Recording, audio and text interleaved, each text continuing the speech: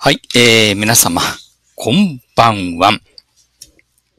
2021年9月の19日、ボギーチャンネル、私主催の、えー、ボギーテレコンでございます。まあ、昨晩はね、あのー、1週間に1回お休みということで、えー、中佐の方にね、うんちくいろいろ喋っていただきました。まあ、いかがだったでしょうかね。はい、中佐のいろいろやっていただいて誠にありがとうございます。さて今日はもう日曜日ということでですね、えー、実はラジオワンヌウムイの、えー、収録があったんですよ。まあ、実はもう総裁選挙竹縄ということでね、いろいろ真面目な話をしようということで、かなり気合を入れていたんですが、実は、はい、えー、皆さんも大好きな HK ゴスロリマンゴー仮面さんがですね、やらかしていただきまして、はい。やらかしたんですよ。またね、今日も楽しくやらかしていただきまして、まあ、詳細につきましては、えー、また今度の木曜日にご覧いただくかなと思うんですが、いやー、しかし、本当にね、彼ってやっぱり何か持ってますよ。はい。天性のなんか才能があるんじゃないかと思うんですけど、いやー、今日はもう本当にみんなでも放送にならないぐらいひっくり返りましたね。はい。まあこれ本当に木曜日楽しみにしていただきたいなと思っておりますけど、まあ今日の案件につきましてはそうですね。あの、これは多分ね、えー、226事件ではなくて、えー、923事件っていうことで永久に残るんじゃないかというふうに思っておりますけど、923事件、今度の木曜日23日ということでね、いや、コウスケさん本当に逆たぶりに腹抱えて笑いましたよ。はい、ということで、ちょっと水をいっぱい飲まさせていただきます。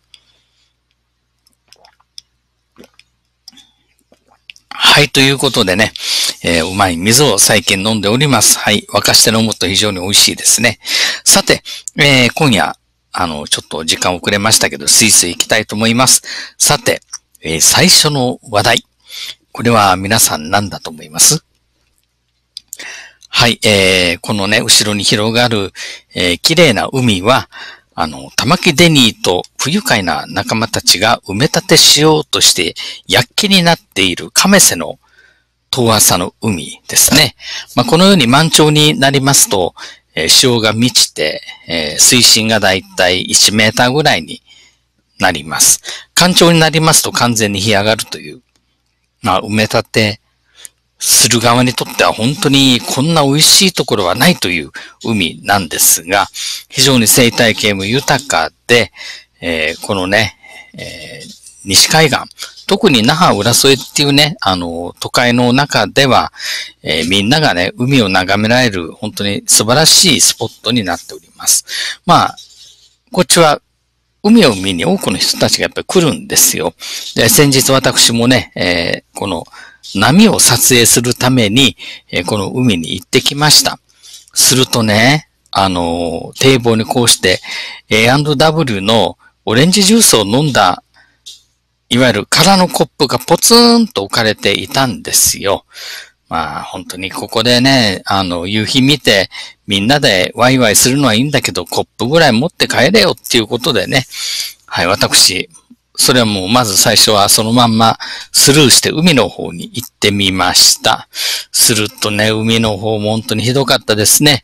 もうペットボトルだらけでですね、えー、ペットボトルレジ袋の4つ分拾いましたよ。あ、3つかなはい。レジ袋3つ分ほどね、あのー、拾いまして、もうね、あのー、いつも遊ぶ、遊ぶっていうか、こうしてね、あの、リハビリで通ってる海がやはり汚れてるとね、ついつい車からビニール袋持ってきて、掃除したりとかするんですが、そのペットボトルをね、あの、袋に入れて、さあこれ持って帰ってちょっと処分しないといかんな、ということで、テクテク歩いていると、なんと、先ほどのコップの下にこんなものがありました。はい。これ何かと言いますと、A&W さんでですね、あの、ハンバーガーとかコニードッグとかいろんなものをね、買って、ここで多分、量からすると友達2、3人ぐらいでしょうね。ポテトとかバーガーとか、それをね、一生懸命こっちで夕日を見ながら食べたんでしょう。はい。夕日を食べてそのまんまゴミをポイ捨てして行ってるわけなんですよね。まあ、後ろに見えるのは、これはあの、お弁当です。お弁当を食べてそのまんまポイ捨て。いやー、本当にね、私これ見たときに、もうげんなりしました。あの、来るたんびにね、私あの、ゴミ拾って帰るんですよ、ここ。だけど、本当にね、ゴミがない日ってないです。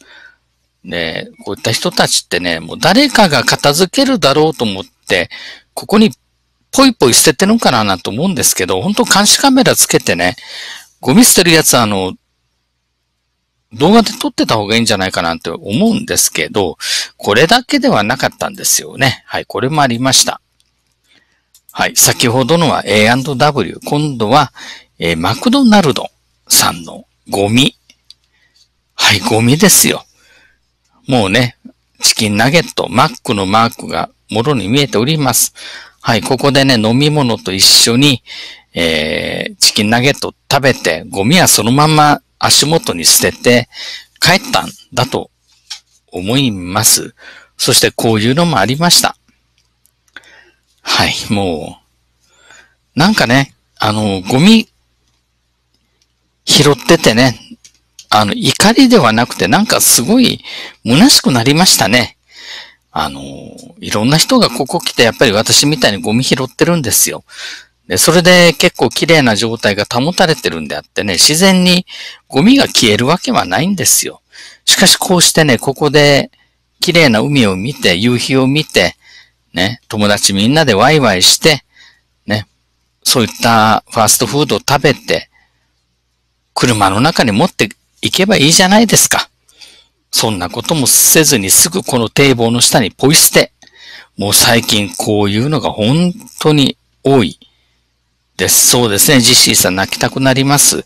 で、私がね、あのー、これ、一生懸命ペットボトルとかゴミを拾ってね、あの、集めてるのを見て、あの、オートバイに乗った若者が一人来ていたんですよ。で、私がもう何にも言わずにこのゴミ拾いしてるのを見て罰が悪くなってね、あの、すぐ帰っちゃったんですけど、まあ、本当にね、こんな綺麗な海楽しみに来るんだったら、せめてゴミは拾ってほしいなっていうのがね、まあ私の偽らざる、えー、気持ちなんですけどね。まあ、せめて自分のゴミは本当に持って帰ってほしいなっていうのが私のやっぱり偽らざる気持ちですよ。はい。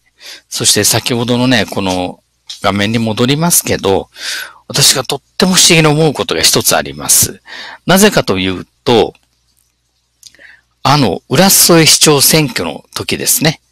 はい。浦添市長選挙の時、えー、この海のすぐね、そばにあるパルコシティに、ね、何百台っていう車を止めて、あの、元共産党の入江祐樹候補、その方のね、出陣式、総決大会がこの海岸で開かれたんですよ。そこではね、本当にたくさんの人たちがこの美しい海を守ろうっていうことで、会見を上げていたんですよね。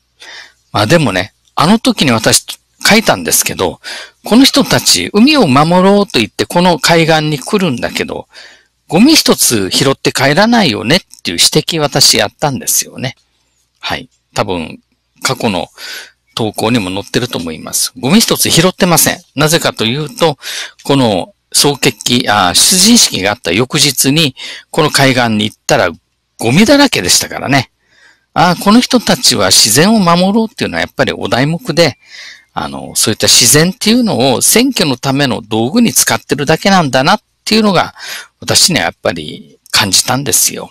まあ、この浦添の市議会議員選挙でも、えー、この海でゴミを拾ってることを一生懸命宣伝してる候補がいました。彼は当選しましたけど、でもその後からそういった書き込みっていうのが、やっぱり全く見られない。ね。当選した後にちょっと掃除してるのをアップしてましたけど、その後から全くそういった発信がないですよ。だから私思うんですけど、政治家っていうのはね、こういった海の清掃とか街の清掃とか、選挙が近づくと一生懸命やってアピールしますけど、本当に海やね、街をきれいにしようっていう気持ちがあるのかなと。はい、目玉役さん、目玉役さん書いてます。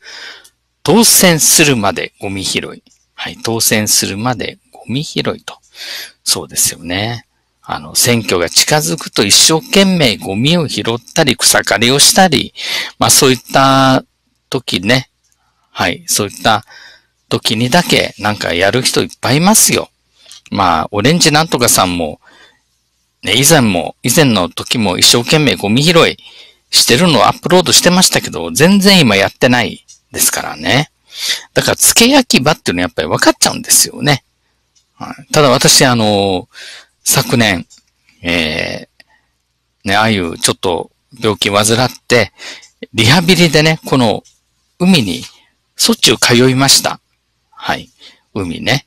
この堤防の階段を登るのも、やっとカットで登るような状態。そして、えー、砂浜歩くのもやっとカットっていうことでね。はい。そういった感じで、リハビリでね、とってもお世話になった海なんですよ。ですから今でも、えー、トランクにね、あの、チリ袋、レジ袋乗っけてて、あの、来た時にはできる限り拾って帰るということなんですけどね。はい。えー、ダイビングショップパラダイス店長、さきさん。自然がとか大切な生き物がというパヨクの方々がゴミ拾いしてるのを見たことはありませんということで、まさに、えー、その通りなんですよね。まあ、ちなみにあの、この海のすぐ後ろにある、あの、三芸パルコシティはですね、まあ、このチャイナウイルス蔓延になる前には、えー、月に一回、社員の方々がね、あの、この海の清掃をしていたっていうことですけど、まあ、チャイナウイルスが流行してから今、パタリと止まっています。まあ、今、森の都さん書いていますけど、まあ、チャイナウイルス対策のね、時のゴミ拾いは大変結構ですが、拾う時にはマスク、手袋等完全武装してからにした方がいいと言われましたということで、本当なんですよ。あの、コップとかね、はい、ペットボトル、当然口つけてますよ。で、こういったウイルスっていうのは、しばらく生きてるらしいですよね。はい、こんなカップにしても、このストローの先は人間が口をつけてますから、はい、いわゆる粘液、唾液ついてますよね。はい。で、このウイルスっていうのは、どのぐらい生きてるんですかね多分1日ぐらいは生きてると思うんですけど、それやっぱり掴むっていうのは本当に気使いますよ。私もこういったゴミ拾うときにね、あの、こういったコップ掴むときには本当に先っちょとか触らないように気をつけながらね、やっぱりやってます。まあ当然マスクもしていますけど、まあそのぐらいね、気を使いながら今、えー、ゴミ拾ってるんですけどね。うん。まあそういった捨てるのはとっても簡単なんですけど、それ片付けるっていうのは本当にすごいやっぱりね、労力がいるんでね、あの、本当にこの海綺麗だなと感動してもらってるんであれば、その海を守るためにせめて自分が持ってきたゴミは持って帰りましょうと。できればね、すぐ近くに落ちてるゴミもついでにね、あの、拾っていただいたら、えいつまでも綺麗な海岸がね、保てるんじゃないかと思いますけど、まあ、ちなみに、ペットボトルは全部で、えー、30本ぐらいありました。30本ぐらい大きいのからちっちゃいのまで。中には砂の中に埋まって、頭だけ出てるのもありましたけど、レジ袋は一つもありませんでしたよ、皆さん。レジ袋は一個もありません。はい。ボギー中佐。え新型コロナは条件にもよりますが、え数日生存していることがあると。2、3日ということは昨日、ここにね、口つけて捨てられてるコップなどは、やはり、あの、もし、チャイナウイルスに感染していれば、ウイルスはそのまま残ってるっていうことで、それで粘膜、目なんか触るとやっぱり感染の元になるっていうことでね、うん、やっぱりこういった疲労時には重々やっぱり注意しないといけないなっていうふうにね、私もやっぱ思ってます。はい。作業後の手洗い。はい、もちろん、あの、手洗い。しました。そして、アルコール消毒もしております。まあ、今、携帯用のね、アルコール消毒持ってるんで、何かあるとすぐアルコールで拭き拭きということでございますからね。はい。だから、私思うんですけど、あのね、環境大臣、えー、ゴミ、レジ袋どうのこうのとかね、あの、プラスチックのフォークが、ね、歯ブラシがあって、そんなことをやるよりはね、ポイ捨ては厳罰に処すという、そういった法律作った方が良かったんじゃないですか。まあ、県の条例でやってるところはありますよ。でもね、あの、新次郎さん、条例ではなくて法律でですよ。ね。はい。その、海浜における廃棄物投棄に関する法律とか、はい。そのように。はい。えー、さき店長。ペットボトルはむやみに開けないように注意されましたと。素手では絶対にダメということでね。まあ実は、中身が入ってるペットボトル結構あるんですよ。ある。で、中身が入ったまんま片付けられないんで、まあ仕方がないんでね、もうキャップ開けて中身を、あの、捨てて、またキャップを閉めて袋に入れるっていうことをやっているんですけど、はい。中身が入ってるペットボトル3つぐらいありました。まあ、今回たまたま幸いにもね、あの、中国とか半島のやつはなかったんですけど、でもね、本当にそれ開けるときに、やっぱり不安はよぎりますよ。でもそのまま放置してはいけないし、っていうことでね、もう仕方なく現場で蓋開けて、まあ、中身出して、はい、袋にまた入れるっていうことになりますけど、まあ、車に戻ってね、携帯しているアルコールでも手をすぐさっとね、やる。まあ、その前に、えー、持ってきたミネラルウォーターで手を洗いますけどね。はい。えー、ラプテンさん。歩きタバコは条例で罰金取れるのに、えー、酒の路上飲みやポイ捨てはほとんど注意のみということで。うん。だからね、小泉さん、あんなね、有料化有料化するよりは法律で、海にね、そういったあの、ゴミを捨てるとね、これはあの、違反になるっていう法律作った方が良かったんじゃないですか私そう思いますよ。ね。海に、あの、ゴミを投棄したのをね、あの、発見した場合には、えー、罰金を処すと。そしてこういった海岸には、あの、監視カメラ。すぐ後ろのね、パルコシティに、監視カメラつけてですよ、ネットでね、繋いで、あのそういったゴミを捨てる人たち、これでね、監視しててもいいじゃないですか。捨てる人をね、またあの動画公開してもいいと思いますよ。はい。えー、さき店長、最後の問題は集めたゴミの問題ですと。そこら辺に置いておくとゴミ置き場と思ってゴミを捨てる人がいますと。え行政がして、しっかりしてるところは、と、すぐ回収してくれますということでね。はい。えー、原幌秀治さん、スンズローにそんな知恵もスタッフもいないと。まあ、彼の考えは、とにかく、そういったプラスチックがね、環境に、環境汚染になると、海の中漂ってウミガメがどうだこうだだと。ね。だったら、それ、有料化して使わなせけ、使わなさなければいいんじゃないの？っていう感じでね。本当に短絡的なんですよ。そうじゃなくて、あのー、このね、ゴミをいかに捨てない、捨てないようにさせるかっていうことを全く考えていない。全く考えてない。ですよね。本当に不思議でなりません。私そこのところ。ね、有料化して金取るようにすれば使わなくなるだろう。そうしたら捨てる人もいなくなるだろうじゃないんですよ。はい。そうじゃなくて、そういったあの、ゴミを投棄することそのものがやはり違法だというふうにやっぱり認識させた方がいいんじゃないですかね。はい。今、ね、動画流すと肖像権がどうだこうたらって言うけど、まあ、あの、ここにね、本当に私あの、ゴミは持ち帰りましょうっていう縦看板立てようと思ってますよ。本当に。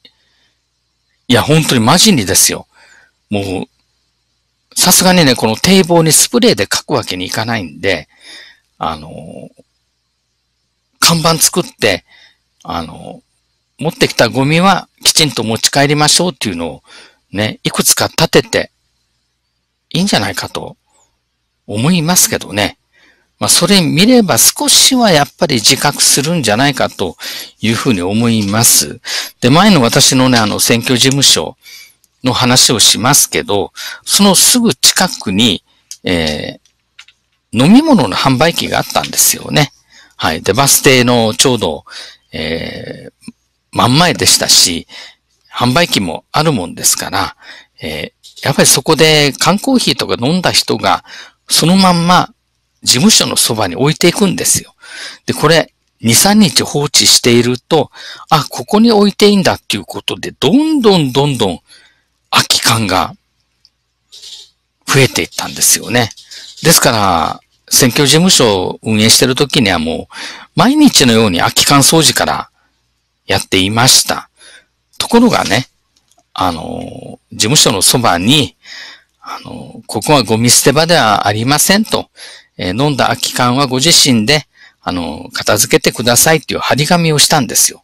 するとね、あの、ぴたりと、そうやって空き缶を置いていく人がいなくなったんですけどね。まあですからここも、やはりこのままじゃダメだと思うんですよ。ですから、自分で看板作るとなったら多分、そうですね、3、4万ぐらいかかりそうな気がするんで、まあ、浦添のね、松本市長にちょっと相談して、ここにね、ここ浦添市なんで、あの、ゴミはね、あの、持ち帰りましょうっていう看板立ててもらえませんかということでね、ちょっと相談してみようかな。そうですよね、中佐。こんなのみんな個人でやってたら本当に大変ですよ。ね。こういったところにこそぜひやっていただきたいし、まあ、フットワークの軽い松本市長なんでね、あの、多分考えてくれるんじゃないかというふうにね、私は思っていますけど、はい。あの、まずは働きかけてみようかなと思っております。いや、しかし本当にね、えー、どんどんどんどんやっぱり人のモラルっていうのが、どんどんやっぱり薄れている。ハチさんが心の問題ですとあるんですけど、えゴミ捨てていったら誰が片付けるのってそこまでやっぱりね、あの考えが回らないっていうのはあまりにもちょっとね、私残念だなと思うし、まあこのように友達みんなでね、あの、ワイワイガヤガヤ美味しいポテトとかハンバーグとかね、こにどく食べて、そのまま下にポイッと捨てた。多分これ、その横に、あの、弁当があるんですよ。弁当のね、あの、ゴミが捨てられてるんですけど、多分これを見て、ああ、ここ捨てていいんだっていうことで、こうして、ポイッとやっていったというふうに私は見ていますけど、まさにね、ゴミがゴミを呼ぶということで、あの、本当にここが綺麗であればゴミ捨てる人もいなくなるかななんて思うんですけど、やはりね、あの、両親に任せたらやっぱりダメですよ。はい。きちんとね、ガキでもわかるように、あの、ゴミは持ち帰ってくださいっていうことでね、看板。はい。そうですね。割れ窓理論ということで一つ汚れると一気に汚される。まさにその通り。私の選挙事務所でも同じようなことありましたから、それぜひまたやっていただきたいと、え、思っております。さて今日はゴミの話ばっかりなんですけど、ちょっとね、あのー、気になるっていうか、はい。おっていう話が実はあります。はい、これでございます。これ皆さん、なんだかわかりますか？あ、さき店長書いてますね。沖縄はその昔家の下に豚を飼っていたと、えー、昔の日本人は誰にも言われずリサイクルができていました。お坊ちゃまにどうのこうの言われなくてもいいんです。だけど大佐が言うように漂着ゴミで一番多いのは、漁具とペットボトルがダントツですということで。でもね、さっき店長、海に潜るからわかると思いますけど、海の中、もう釣り具、ね、あの、イカエギとか、鉛の重りとか、あと、糸、釣り糸、大変ですよね。店長もいろいろこういったのをね、拾って片付けたりとかしてると思いますけど、本当にダイバーの皆さんにもね、本当に感謝してますよ、私は。ありがとうございます。さて、総裁選の投票用紙。ね、これ実は、一人の方のお家に来たのらしいんですよね。一人の方のお家に来たのが、なんと2、4、6、8、10、11枚。これって一体何なんでしょうね。住所はみんな一緒で名前が違うのが、まあ、届いたということでございまして、だいたいこれ私、なぜかわかりますよ。はい。実はね、あのー、国会議員とか、県議会議員、特にあの自民党の公認をね、あの、もらおうとする人たちは、あの、党員っていうのをね、やっぱ集めないといけないんですよ。その時に、ね、あの、いろんな人たちの名前をね、借りて、私はこんだけ党員集めましたよっていうのをやる場合があると聞いております。はい。あると聞いてます。つまり、あのー、実在のね、人間の名前を使ってるかもしれないんですけど、本当にその人の家に行くと、え、なんでっていうことになるんで、えー、自分の支持者の住所を使って、それにいくつも名前をね、えー、使って、はい、あの、党員をね、まあ、水増し報告するということでございまして、そうですね、猫や絵の名前でもいい。だから、例えば、えー、ボギーテドコンではなくて、あの、ナビテドコンでも、もしかすると来る。はい。えー、ラプテンさん、それぞれの党員の会費は会社の経費で。そうですね。これ実は、なんとかクジラさんがこの前3000人ぐらい党員を集めてどうのこうのがありましたけど、それが多分近い話ではないですか。ね。はい。まあこれ、まあ本人の書き込み、ね、あのー、すごい真面目そうな方でございました。はい。これですね。あ、これじゃなくて、これ2番目のやつですね。最初の書き込みはこれでございますね。はい。帰宅してたら届いていた。んこんなにたくさん投票していいのかねと。宛名見たら別人だらけだったんだがどうなってんだということでございまして。はい。この方はジュニさん。あの、河野太郎さんを応援してる方ですね。はい。まあ、河野太郎さんを応援してるっていうことでも、河野太郎さん嫌いな人たちからいろいろ心ない書き込みとかされてね、ちょっとかわいそうだなと、私見ているんですけど、悪意があったらこんなこと載せないですぐ投票してると思いますよ。はい。えー、はがきが偽物だとかいろいろ言ってる方がおられますと。えー、普通に往復はがきできていますし、半分に切り取って、あの、変装するようになっています。とりあえず火曜日に千葉県支部連合会に確認して、どうなったかを報告させてもらいますということですごい真面目な方ですね。はい。でも本当に一体どうなってるんでしょうか。まあでもね、さっき言ったように、えー、そういった党費、はい、党のね、年会費は会社の経費でと。そして名前はね、あの、勝手に社員名簿なんかから使って書いて、まあ、これだけ集めましたってやってる人も中にはいるとかいないとか言われていますけどね。まあ、誰とは言いませんけど、はい、きちんとね、あの、党員っていうのは本人の納得の上で、まあ、本人がきちんとお金を払ってね、えー、加入すると。しかし、犬や猫の名前でも OK っていうのはちょっとね、あまりにもざるすぎやしませんかということでね、あの、自民党さんもう少し真面目に考えた方がいいですよ。はい。目玉役さん、頭皮を収めた数だけ来ますということでね。はい。私の時にも、どこにもしっかり来ていましたんで、まあ、どんなものかまた明日の桜で現物見せようかなと思っておりますけどね。はい。そして今日は、まあ、いろんな話がありましたけど、相変わらず、はい。このニュース、田村淳さん、9月17日の時点で、これですね。まあ、19日は60%近く、まあ、言ってると思いますけど、まあ、この田村淳さんどっちかというとあちら系なんですけど、まさか、高市さんの人気はこんなにあるなんて思ってなかったんでしょうね。はい。全く思ってなかったと思いますよ。はい。そして、えー、今度新しいまたツイートが出ていましたけど、こんなこと言ってますよね。あと日と17時間ありますと。はい。田村敦はい。敦ぜひ投票にご参加ください。現時点で高市さんがダントツの得票数ですねと。新聞やニュースで報じられている数字とはかなり違うのが面白いですね。実際に自民党議員と党員の方の投票結果と僕のアンケートの結果が同じになるのかも検証できて楽しみですと。なんかすごい上から目線っていうか。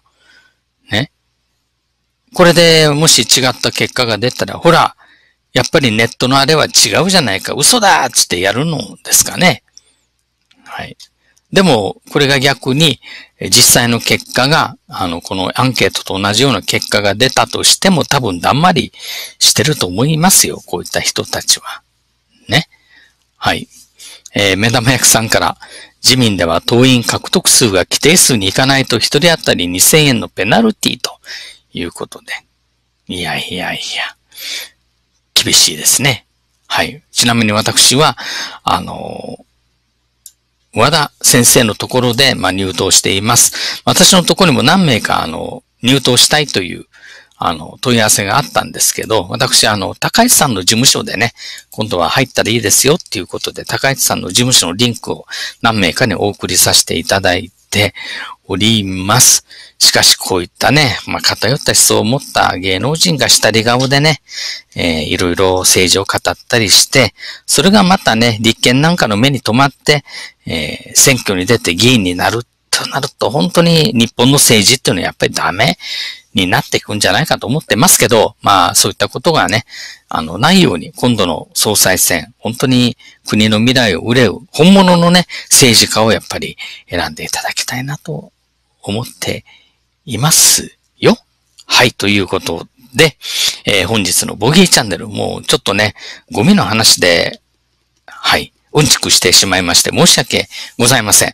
明日はね、また桜と夜はまたキャスのダブルでいろいろお話しさせていただきます。そしてね、あのー、今度、はい、木曜日のラジオは、いや、本当に皆さん。期待してていいと思いますよ。えー、923事件勃発。はい。暴走する HK マンゴー仮面っていうタイトルになるんじゃないかと思ってますけど、さあ何を暴走するのかぜひ皆さん楽しみにしていただきたいと思います。まあ、本人は一生懸命すいませんすいませんと謝ってましたけど、私は全然謝る必要ないと思います。これはもう彼のね、彼のやっぱりこれはいいところ。ね。